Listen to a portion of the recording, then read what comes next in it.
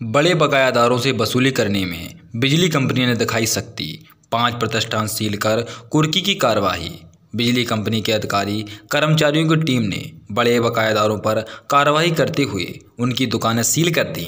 वसूली के लिए बाज़ार में निकली बिजली कंपनी की टीम को देखकर दुकानदार घबराहट में दिखाई दिए। इसके बाद टीम के साथ आए अधिकारियों ने वसूली की प्रक्रिया शुरू की। जानकारी के अनुसार शनिवार को तहसीलदार एपीएम भदौरिया के नेतृत्व में सिवड़ा उप महाप्रबंधक उमेश शर्मा, सहायक यंत्री ब्रजेंद्र कुमार, कनिष्ठ यंत्री नागार्जुन के साथ इंदगढ़ बिजली कंपनी कर्मचारियों की चालीस सदस्यीय टीम ने इंदगढ़ में बड़े बकायेदारों पर कार्रवाई शुरू की है।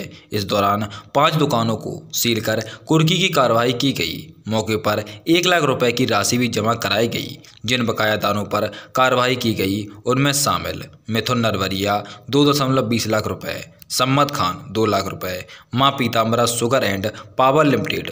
Khai Khera, दस लाख रुपए। महेश, चार लाख रुपए। मुकेश कुकरेजा, तीन दशमलव दो लाख रुपए की राशि बकाया होने पर प्रतिष्ठान सील करने की कार्रवाई की गई। एक बकायादार बबलू सोनी ने मौके पर एक लाख की राशि भी जमा कराई है।